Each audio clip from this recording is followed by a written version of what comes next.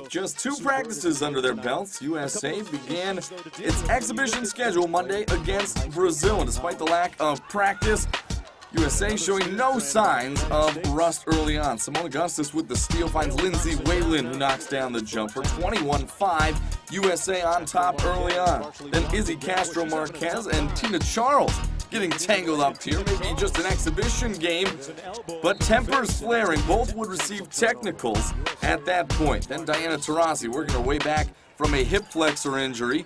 Trailing on the play, knocks down the three ball. USA by 16. Then Karla Costa gets one of five steals for her.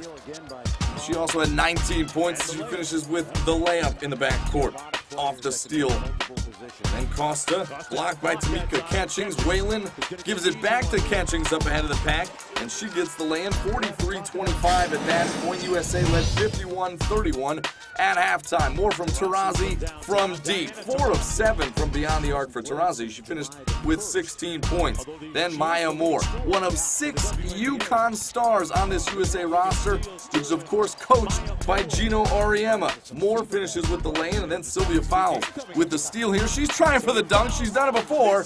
Can't finish on that one. Angel McCoughtry also later on in the ball game tried to attempt a dunk and couldn't get it to go. But A for effort for the USA All-Stars as the women's national team wins 99-67. Five players in double figures led by Whalen's 21.